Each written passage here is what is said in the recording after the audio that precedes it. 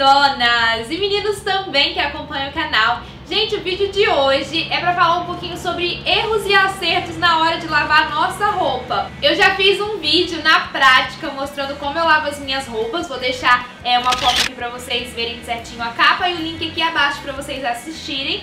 Só que hoje eu trouxe algumas diquinhas extras pra facilitar o nosso dia na cuidar das nossas roupas. Porque sabe como é, né, gente? No dia a dia, com a correria, às vezes a gente acaba fazendo uma coisa que não é tão legal e estragando uma roupa que a gente gosta muito. Então a máquina de lavar, ela tem que ser uma aliada no nosso dia a dia e por isso que eu trouxe pra vocês esse vídeo que tá recheado de dicas. Então quem quiser conferir, é só continuar assistindo o vídeo e vem comigo!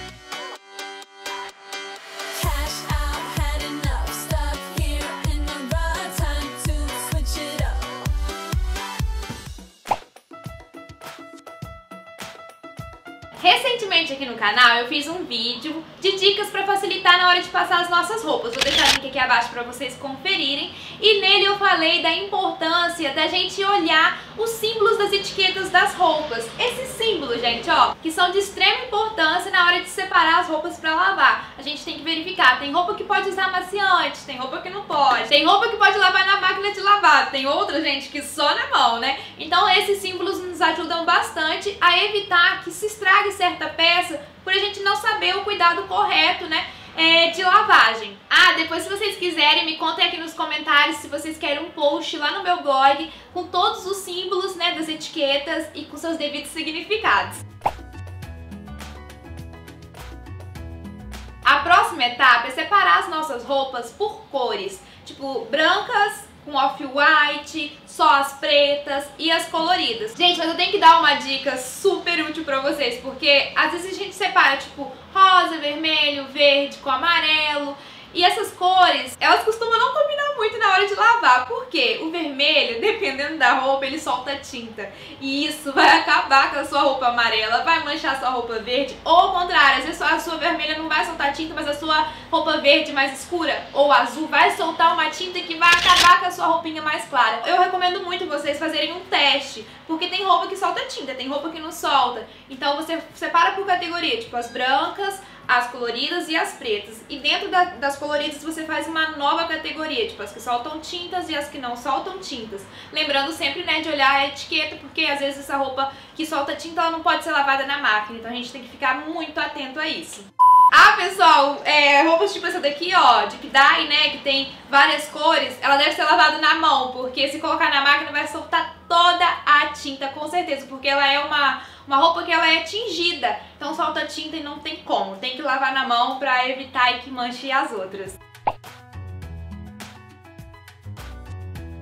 A próxima dica é você separar as suas roupas por grau de sujeira e por tipos de tecido. Por quê? Às vezes tem uma roupa que tá muito suja e ela vai precisar de um processo mais longo na hora de lavar. E a roupa mais limpa, né, ela vai ter um processo mais rápido. Já os tipos de tecido, tem tecido que é super delicado, às vezes você tem que colocar um saquinho pra proteger, pra evitar que, que estrague, que agarre em outra peça. Então nós temos que estar sempre atento a isso também.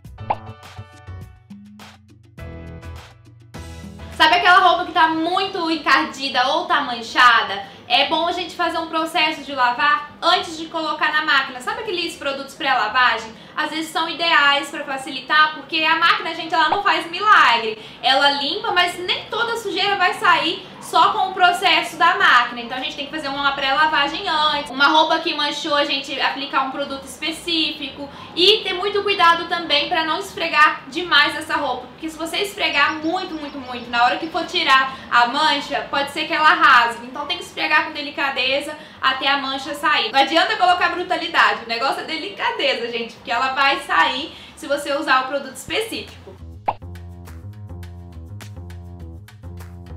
Agora essa dica é pra completar a dica anterior. Sabe aquela roupa que você colocou de molho? Você deve deixá-la de molho no balde ou na bacia por no máximo umas duas horas. Se você deixar um tempo maior que esse, a sua roupa vai estragar o tecido e vai ficar com um cheiro ruim. A gente não pode esquecer aquela roupa pra sempre no balde e lembrar só no outro dia. Deixa o tempo exato e o produto que você utilizou vai fazer o processo é, esperado, depois você coloca na máquina pra intensificar aí a limpeza. É normal a gente achar que precisa de muito sabão em pó ou sabão líquido pra limpar é, as nossas roupas. Só que é tudo ao contrário, gente. A gente tem que utilizar a quantidade certa, tanto de sabão, né, quanto de amaciante para cada ciclo de limpeza. Não adianta a gente colocar um excesso de sabão que só vai fazer efeito contrário, vai acabar desbotando o tecido da sua roupa, deixá-la mais dura e o pior, gente, vai dificultar demais na hora de passar a sua roupa. Então você vai ficar lá passando, passando, passando, o negócio não passa de jeito nenhum. Aí você lembra, né? Ah, eu coloquei muito sabão na hora de lavar, então já achou o erro, né? Então lembre sempre de colocar a quantidade certa na hora de lavar. Outra coisa que nós temos que ficar atentos é na hora de colocar é, as roupas na máquina, verificar o tamanho da sua máquina e a quantidade de roupa está colocando. Porque às vezes você lota a máquina até a tampa, gente, a máquina não vai fazer o serviço corretamente do jeito que a gente espera e com isso a gente pode até estragá-la. Então é importante a gente colocar a quantidade adequada que cabe em cada máquina de lavar. Sabe aquela sua roupa de botões, aquela camisa, ou aquela sua saia que tem um zíper ou o seu vestido, ou até mesmo aquele short do seu marido que tem aquele velcro? Gente, tem que ter muito cuidado com essas peças. O correto é, na hora de lavar, as camisas de botões, você deve deixá-las abertas, que abotoe todos os botões na hora de lavar.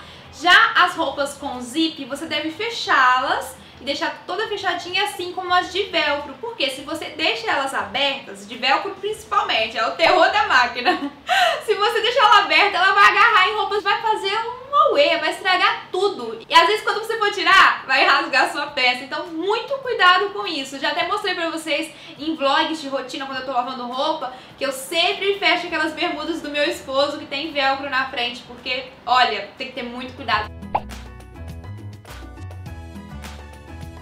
Roupas que soltam pelos, é importante também que a gente lave elas separadas, né? Porque para evitar que agarre pelos em outras roupas e dificulte na hora de você passar ou de você usar. Você vai ter que lá ficar passando aquele rolinho para tirar os pelinhos e demora, então dificulta o nosso dia a dia com a correria.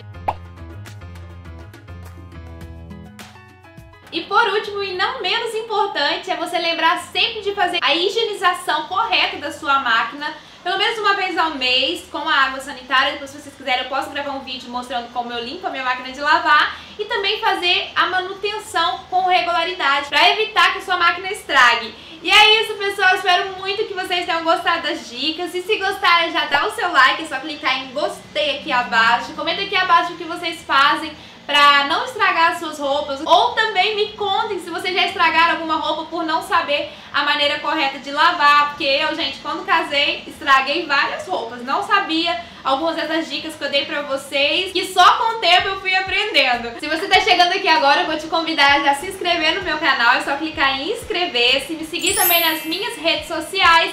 E é isso. Mil beijinhos, fiquem com Deus, gente. Até mais. Tchau!